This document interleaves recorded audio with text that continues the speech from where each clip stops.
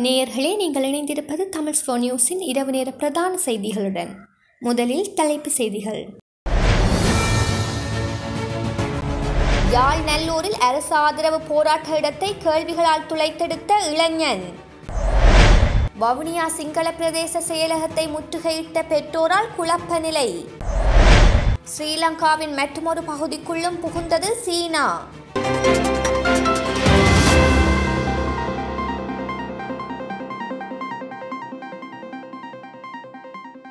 ஐக்கிய நாடுகளின் மனித உரிமைகள் பேரவை பாரபட்சமற்ற முறையில் செயற்பட வேண்டும் என கோரி யாழ் சிவில் சமூக நிலையம் என்ற அமைப்பினால் நேற்றைய தினம் யாழ் நல்லூரில் உணவு தவிர்ப்பு போராட்டம் ஒன்று ஆரம்பிக்கப்பட்டுள்ளது.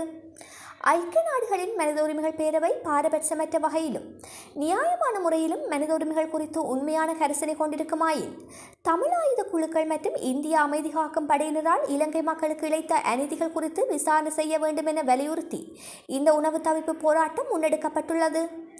இலங்கையில் செயற்பட்ட ஆயுத குழுக்களான தமிழீழ விடுதலை புலிகள் ட்ரெலோ பிளாட் இபிஆர்எல்எஃப் ஈழ தேசிய ஜனநாயக விடுதலை முன்னணி போன்ற மிகப்பெரிய ஆயுத குழுக்கள் மனிதாபிமானத்துக்கு எதிரான குற்றங்களை இழைத்துள்ளதாக ஸ்ரீலங்கா அரசினால் தூண்டப்பட்டவரான அருண் சித்தார்த் என்பவர் மேற்கொள்ளும் போராட்ட இடத்துக்கு இளைஞர்கள் சிலர் வந்து கேள்விகள் கேட்டதனால் குழப்ப நிலை நேற்று மாலை ஏற்பட்டது. போலீசார் தலையிட்டு குறித்த குழப்பத்தை முடிவுக்கு கொண்டு வந்துள்ளனர்.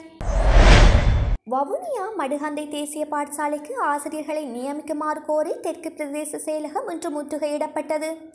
அண்மையில் அரசாங்கத்தால் அபிவிருத்தி உத்தியோகங்களாக நியமிக்கப்பட்ட ஆறு பேர் மடுகந்தை தேசிய பாடசாலைக்கு ஆசிரியர்களாக நியமிக்கப்பட்டிருந்தனர். எனினும் பாடசாலை தவணை விடுமுறையை அடுத்து அவர்கள் வேறு செயற்திட்டத்துக்காக மீள அழைக்கப்பட்டிருந்தனர்.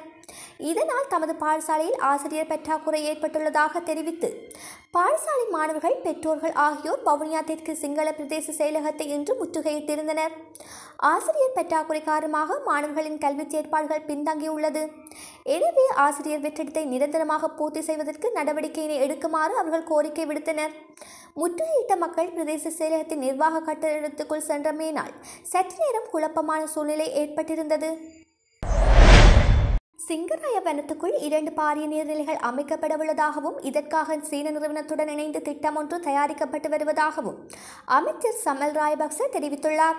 இது தொடர்பில் அவர் மேலும் தெரிவிக்கையில் ஹம்பாந்தோட்டை மாவட்டத்தின் தங்காலை வீரகட்டிய மற்றும் பெலியத்த பிரதேசங்களுக்கு குடிநீர் பெற்றுக்கொள்ளும் முகமாக இந்த திட்டம் செயற்படுத்தப்பட உள்ளது. மஹிந்த ராஜபக்ச ஜனாதிபதியாக இருந்த காலத்தில் இத்திட்டம் தயாரிக்கப்பட்டு சீன நிறுவனத்துக்கு ஒரு தொகை நிதியும் வழங்கப்பட்டிருந்ததாகவும் கடந்த ஐந்து வருடங்களில் அது செயற்படுத்தப்படவில்லை எனவும் தெரிவித்த அமைச்சர் அத்திட்டத்தை மீள ஆரம்பிக்க எதிர்பார்த்துள்ளதாகவும் கூறினார். சிங்கராயா வனத்துக்குள் ஒரு நீர்நிலை சுமார் ஐந்து ஏக்கர் நிலத்தில் அமைக்கப்பட உள்ளது. இவ்வாறு இரண்டு நீர்நிலைகள் அமைக்கப்பட உள்ளன. இதன்போது இடம்பெறும் வெல அழிப்புக்கு பதிலாக ஐம்பது தொடக்கம் நூறு ஏக்கரில் மரம் நடுவதற்கு நாம் இணக்கம் தெரிவித்துள்ளோம் என சமல் ராய்பக்ச தெரிவித்துள்ளார். தொடர்ந்து நமது செய்திகளை பார்ப்பதற்கு தமிழ் ஸ்போ நியூஸ் சேனலை சப்ஸ்கிரைப் செய்து உடனுக்குடன் செய்திகளை அறிந்திடுங்கள்.